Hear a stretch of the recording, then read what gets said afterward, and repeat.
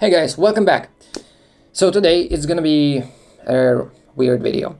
Today we're gonna be building handheld rig for an action camera. And uh, a couple of days ago I thought, can this little guy, which is DJI Osmo Action, can this guy shoot something cinematic? And I hope like it will it will be able to because today we're going to be build a handheld rig for this and uh, I bought a couple of accessories made by SmallRig um, so this is the first one this is a SmallRig cage for the DJI Osmo Action and you know what uh, I'm actually like this is the first time I'm dealing with uh, any products made by SmallRig, and I was really surprised at uh, how good quality it is uh, like considering the price of like maybe 20 max 30 max dollars. Uh, this is really robust. This is really like reliable. No, like uh, the camera is not like wiggling around in it. Everything is really well made. Uh, so yeah, good stuff, SmallRig, and I will link their website down in the description below. So right now I'm going to change the angle and I'm gonna show you around. Uh, I'm gonna show a, more of a close-up on all of those accessories, and I will show you like uh, all of those mounting points. Uh, and by the way, if you are a beginner photographer and you don't know anything, please check out my blog down in the description below where I assembled some cool and necessary info for beginner photographers. Uh, so without further ado, I'm gonna change the angle and I'm gonna show you all of those accessories. So this is our cage. First of all, it comes with this really handy adapter for your filter and it is 52 millimeter thread, which can be totally removed using the hex key which comes with the cage. At the top we have two quarter 20 mounts with a bigger ARRI mount. At the bottom we have five quarter 20 mounts. On the side we have six quarter 20 mounts, which are positioned conveniently to attach like any other accessories. And on the other side we have four quarter 20 mounts. So this cage is really robust and it's really like, it holds the camera really tight because you see it has this kind of rubber gasket um, on the on the side, on the door, and it holds camera really well. And those screws are really annoying to screw in because they are so tiny. And so that's all about the cage. Um, so let's move on to our handles. So this is our handle. It's a pretty simple design, uh, but it has like everything that you might need. So it uses two quarter 20 mounts, quarter 20 screws to uh, attach to our cage and to like anything you want. It has three more quarter 20 mounts on the top. And it's like, it's primarily made of plastic, but where the mounting points are, it's made of this kind of cold to the touch plastic, which is really more reliable.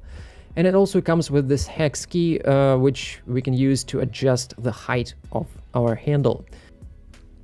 So without further ado, let's get building. So let's start by taking our cage and inserting our camera into this cage.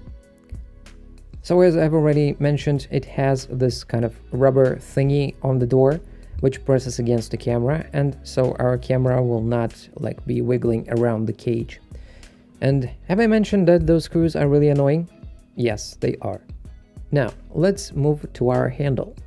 First, I'm going to attach the handle on the right? Or is it left? Whatever. And the attachment is really easy and straightforward. You just screw it in and maybe tighten it using the hex key, which is hidden in the handle, and it is really sturdy and it's really reliable. You just tighten them up and you can hide this key inside the handle. And it sits there using magnets, which is really cool. already our rig is way more stable. So if you move, if you try to move the camera, this tiny little camera with your hand, it will wiggle, it will bounce, it will just be all over the place. And for this video, for this cinematic video, I'm not going to be using any in-camera stabilization.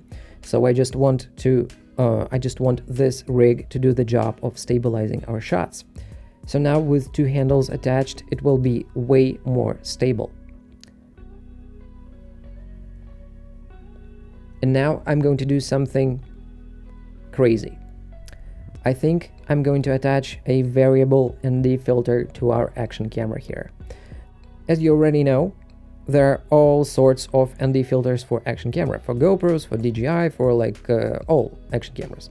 And those ND filters are fixed. So they are like ND8, ND16, 30, uh, 32, 64, etc. And now I'm going to use two step-up rings to mount my big 77 millimeter variable ND filter. And I thought, well, as long as I'm holding this rig in my hands, I will be able to change uh, this variable ND uh, like with my hand. And why bother buying all of those tiny filters which are fixed? So now I'm using two step-up rings, 52 to 55, and then 55 to 77.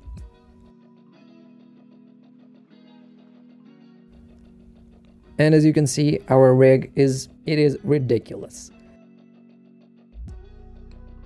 This is it for this video. Hopefully you've enjoyed guys. Uh, stay tuned for the next video, which will be my cinematic video shot on the DJI Osmo Action. And as always, please leave a like, subscribe to this channel, and uh, if you have any questions, I'll be happy to answer them down in the comments section below. So thank you guys for watching again, and I will see you in my next video.